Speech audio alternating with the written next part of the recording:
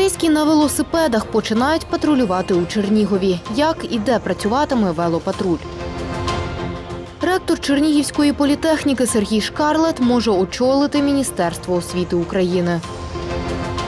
Обрати екскурсовода, знайти заклад харчування чи почитати легенди Чернігова. Запрацював новий туристичний сайт міста чернігів.тревел.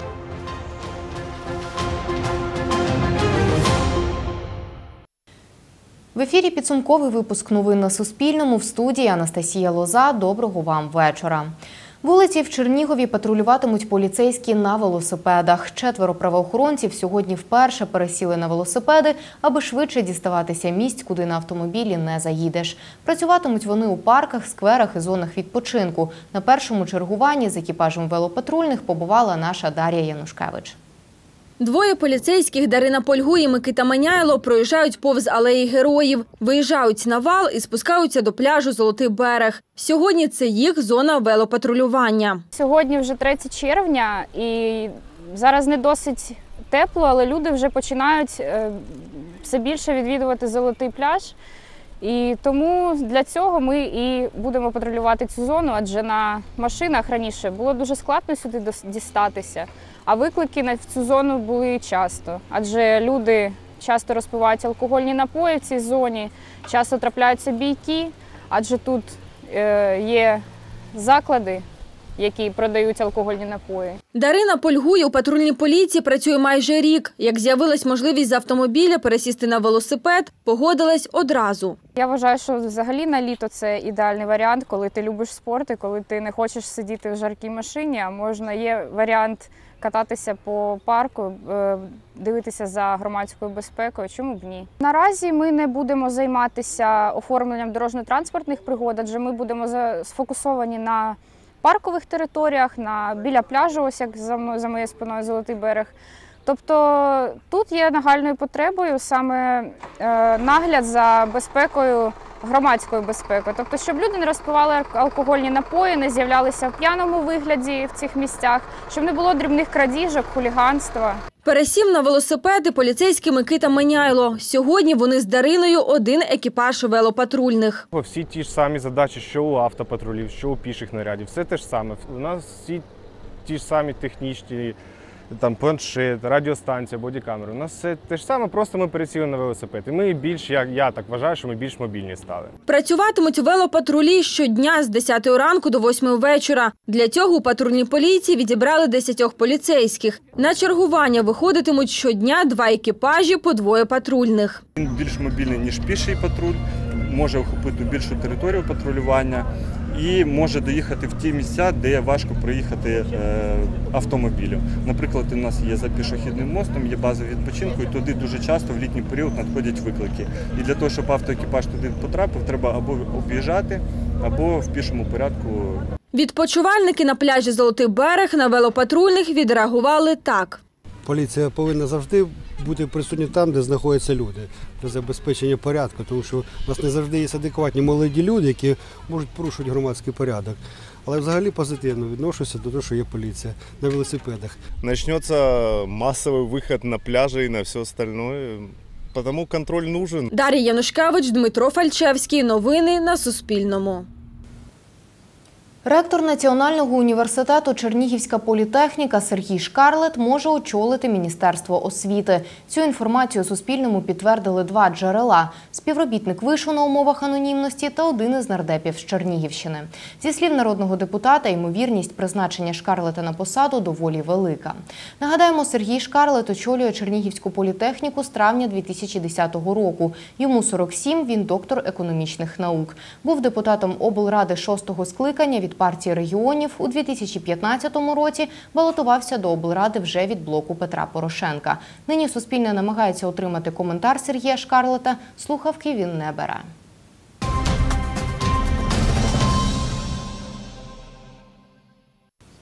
Юрій Болоховець – новий очільник управління лісового та мисливського господарства області. Сьогодні його представив колективу голова Держлісагентства Андрій Заблоцький. Юрій Болоховець – депутат облради від аграрної партії і раніше очолював Ніжинський Держлісгосп. На посаді очільника управління він змінив Олександра Зінченка. Його, нагадаємо, звільнили у лютому, звинувативши в мільйонних збитках від незаконних вирубок лісів. Тоді Андрій, Андрій Заблоцький призначив аудит лісової галузі Чернігівщини. Чи є результати, розкаже Марина Лялеко. Хочу представити Юрія Віталійовича Болоховця. 38-річний Юрій Болоховець став новим очільником управління лісового та мисливського господарства області. Загалом майже 15 років працює в лісовій галузі. З цією професією пов'язане і все його життя, каже Юрій. До призначення на посаду керував Ніжинським держлісгоспом. Також він депутат обласної ради від фракції Аграрної партії України. Моя кар'єра почалася з лісу набагато раніше, е, тому що я виріс в селі, я виріс поряд з лісом, я, в мене хобі, я теж з лісом зв'язаний, тому з лісом я набагато давніше працював інженером, лісничим, директором одного лісгоспу, директором іншого лісгоспу. Свій план розвитку лісового господарства області на цій посаді бачить так. Сьогодні є тотальний е, спад попиту на нашу продукцію, е, зменшення її ціни, е, збільшення, суттєве збільшення залишків лісопродукції на наших складах. Е, Відносно соціального становища, ну, відношення е, оточуючих, відношення людей до лісівників, на жаль, на сьогоднішній день є не найкращим, не таким би, яким нам хотілося. Я думаю, що через декілька тижнів, максимум там, роботи першого місяця, ми сформуємо першочергові е, заходи, які можливо і потрібно реалізувати. Представляти нового очільника управління приїхав голова Державного агентства лісових ресурсів Андрій Заблоцький. Молодий, перспективний, фаховий, професійний. Е, Я переконаний, що саме такі люди по- потрібні на сьогоднішній день. Нагадаємо, до Юрія Болоховця на посаді очільника управління був Олександр Зінченко. Його перевели до Чернігова із Харкова. На початку року, у лютому, із робочою поїздкою на Чернігівщину приїздив тодішній прем'єр-міністр України Олексій Гончарук разом із головою Держлізагентства Андрієм Заблоцьким. Тоді, під час прес-брифінгу, Андрій Заблоцький розповів, що за минулий рік незаконні вирубки лісу на Чернігівщині завдали збитків на 2,5 мільйони гривень. Наймасштабніші збитки по Україні понад 400 мільйонів виявили на Харківщині. Керівник, очільник е, лісників Харківщини пан Зінченко був переведений в Чернігівську область. Він зараз очолює е, Чернігівську область. Е, Я не знаю, присутній пан Зінченко? Немає. Да? Ну, мені повідомили, що він вийшов на лікарняний буквально декілька днів тому. Співпадіння.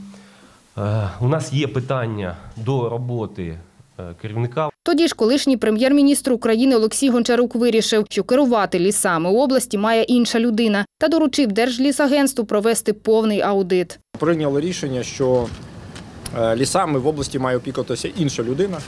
Е, Я думаю, що найближчим часом з цього приводу кадрове рішення буде е, там необхідним чином оформлене. Зараз я доручив Державному агентству лісових ресурсів провести тут повноцінний аудит. Аудит проводили планово. Результати є, однак сьогодні, сказав Андрій Заблоцький, надати їх не готовий. Про звільнення начальника управління сьогодні каже так. Що стосується попереднього керівника, наскільки відомо мені, він написав самостійну заяву на звільнення і був звільнений власне за власним бажанням. Були виявлені певні порушення. Я не готовий зараз точно ну, назвати цифри і конкретно, тому що там інформації досить багато. Але якщо потрібна буде додаткова інформація, ви зверніться, ми надамо. Був проведений аудит.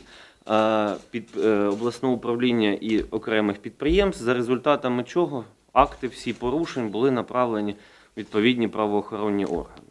Надати повну інформацію пообіцяв і новий очільник управління. Марина Лялеко, Василь Матвієнко. Новини на Суспільному. Грошей на проведення проміжних виборів у 208-му окрузі немає. Про це на засіданні Центральної виборчої комісії сказав голова ЦВК Олег Діденко. Хочу звернути увагу, що станом на даний момент до Центральної виборчої комісії не надходило жодного документа, яким би засвідчувався факт е, дострокового припинення повноважень народного депутата. Тому е, на даний момент часу Центральної виборчої комісії відсутні юридичні підстави для розгляду цього питання. Як тільки такі документи надійдуть, е, Центральна виборча комісія буде визначатися з цього приводу. Інша проблемна ситуація в зв'язку з можливим проведенням виборів в дві- дві- 208 окрузі, а саме останніми змінами до закону про державний бюджет України в державному бюджеті на м, 2020 рік відсутнє фінансування на проведення проміжних виборів.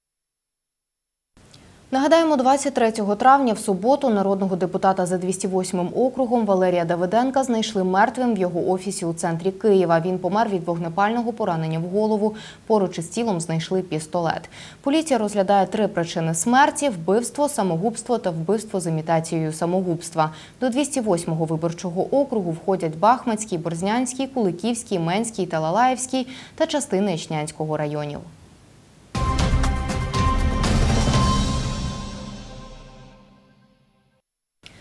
П'ятниці Кабмін готовий дозволити внутрішні авіаперельоти за кордон з 15 червня. Чергові послаблення карантину урядовці схвалили на засіданні, які саме розповів міністр охорони здоров'я Максим Степанов. Дозволити з 5 червня 2020 року роботу закладів громадського харчування, зокрема приймання відвідувачів у приміщеннях за умови дотримання протиепідемічних заходів. Дозволити проводити релігійні заходи на відкритому повітрі за умови контролю релігійної організації дотримання фізичної дистанції між учасниками не менше ніж півтора метри та в приміщенні за умови перебування не більше однієї особи на 5 квадратних метрів площі будівлі. Дозволити з 5 червня 2020 року особам, які досягли 60-річного віку, не дотримуватись умов самоізоляції. За добу на Чернігівщині коронавірус діагностували у 22 людей. Про це Суспільному сказав заступник голови облдержадміністрації Андрій Подорван. 10 нових хворих у Чернігові, трьох з них госпіталізували до лікарні. Це найбільша кількість нових хворих на Чернігівщині з початку пандемії коронавірусу. Попередній антирекорд – 16 хворих був 14 травня. Загалом в області коронавірус діагностували у 214 людей, 80 з них одужали, семеро людей померли.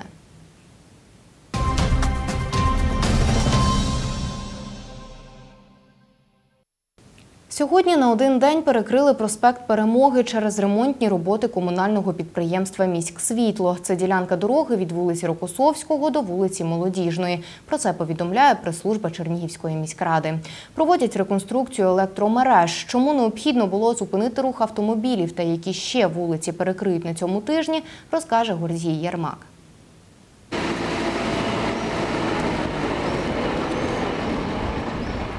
Автомобілі рухаються просто тротуаром на проспекті Перемоги. Все через ремонтні роботи, які ведуться на ділянці дороги від вулиці Рокосовського до вулиці Молодіжної. Тут комунальне підприємство «Міськсвітло» прокладає труби. Ними пустять електромережі. Всі дроти, які ми звикли бачити на стовпах, сховають під землю, каже В'ячеслав Никоненко, директор комунального підприємства «Міськсвітло». Тут проводиться капітальний ремонт заміни е, залізобетонних опор на е, цинкові е, з новим сучасним освітленням. Е, Будуть всі мережі сховані під землю.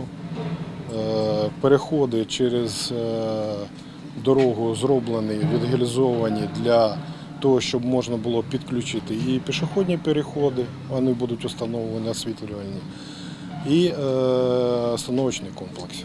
За словами В'ячеслава Никоненка, мережі тут застарілі, їх замінять. Щоб потім не псувати новий асфальт, тут роблять траншеї та закладки. На цій ділянці дороги зроблять три перекопи. Саме через них була необхідність перекривати всю вулицю. Звичайне авто тут не проїде.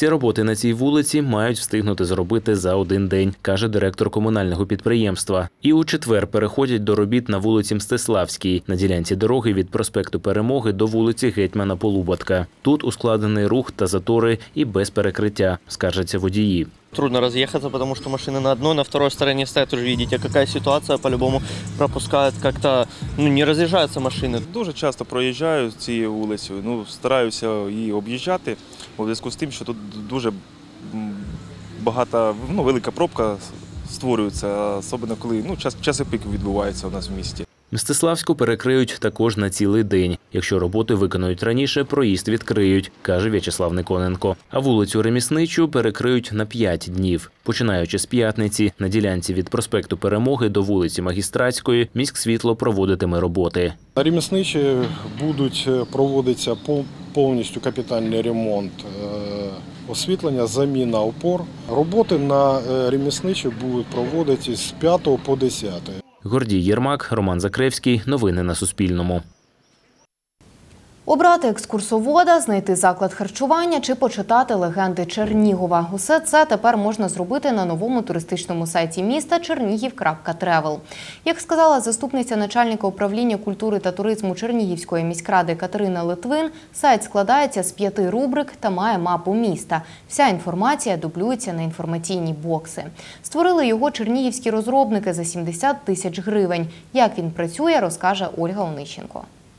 Чернігів.тревел. За такою адресою в інтернеті тепер можна знайти новий туристичний сайт міста. Наша задача була для того, щоб гості нашого міста, так само як і містяни, дуже легко могли зорієнтуватися і визначити для себе ті архітектурні пам'ятки, які вони хочуть відвідати, як працюють наші музеї, відповідно графіки роботи. На сайті є п'ять рубрик з туристичними місцями, закладами харчування, історією та легендами Чернігова, каже Катерина Литвин. Окремим блоком, який очевидно буде ще й розширюватися, це є розваги, тому що завжди ми чули про те, що в нашому місті багато церков, але не так багато місць, де можна місць, де можна відпочити. Також гостям пропонують спланувати свій вікенд в Чернігові. Тобто людина, яка заходить на сайт нашого міста і вона планує поїздку в наше місто. Відповідно, вона заповнює відповідну Google форму, де вказує прізвище ім'я по батькові, з якого міста, на який період вони хочуть приїхати в наше місто, і що власне побачити. Сайт створили двома мовами українською та англійською. Розроблювали його чернігівські програмісти, сказав начальник управління культури та туризму міськради Олександр Шевчук. Ми вимушені були вже звернутися до чернігівських розробників, з якими ми плідно працювали протягом всього цього року. Е, По грошам е, нам обійшлося, я до копійки не пам'ятаю, ну біля 70 тисяч. От. На наш погляд, це невеликі е, гроші. Вся інформація з сайту дублюється на туристично-інформаційні бокси. То тут одразу можна скористатися. А, Як я говорила, обрати собі екскурсовода, ну Володимир Пилипенко перший. Тобто світлина, ви дивитесь, подобається чи не подобається Володимир. А, Тематика його екскурсії знову ж таки, ви читаєте про те, що це фаховий історик, кандидат там історичних наук, і також варіант мови мовами, якими пан Володимир проводить екскурсії: українська, російська, англійська, польська. Такий бокс стоїть і в парку на валу. Чернігівець Дмитро Чоць гортає 3D-мапу стародавнього валу. Ну, ви знаєте, непогано, особливо для гостей міста. Буде класно, щоб ознайомитись так коротенько, знати, куди йти, де що було. Мені подобається. Хіба що розширити територію, щоб був не тільки вал, а ще й, можливо, ось район площі ще був, стрижень, там, щоб Маріну Рощу включили. Оцінює роботу боксу і чернігівець Євгеній Овчинников. Очень удобно. Очень удобно, конечно. Люди придут в историческое место, заодно ознакомятся со всеми еще сервисами, которые в нашем городе представлены. Ну, очень хорошо. Давайте дальше посмотрим. Разваги. Так, картодром, ЦУМ. Я считаю, очень хорошо. Это очень правильно, современно. Та цей бокс має проблеми, каже Катерина Литвин. Якщо говорити про бокс вуличний, а він найбільше і найчастіше все ж таки нарікання, що він не працює. Якщо холодно, то він все одно буде мати проблеми з роботою. Коли йдуть дощі, то він ем, технічно все ж таки буде мати проблеми. Їх в місті планують встановити більше, каже Олександр Шевчук. Уже є плани на бокси. Е, уже у нас буде бокс е, в будинку е, Палаці культури, культури імені Радченко. Е, Також у нас планується бокс е, в е, театральному парку. Ну і далі ми будемо теж плануємо розвивати по місту. Сайт планують постійно оновлювати та вести блог. А також, каже Катерина Литвин, готові дослухатися до зауважень від туристів та гостей міста. Це дійсно е, легкий додаток, яким можна скористуватися як з комп'ютера, так і з телефону. Все ж таки ми робили максимально його легким. Ольга Онищенко, Роман Репа. Новини на Суспільному. На цьому у мене все. Зустрінемось з вами завтра о 13.30. Будьте здорові та залишайтеся Суспільним.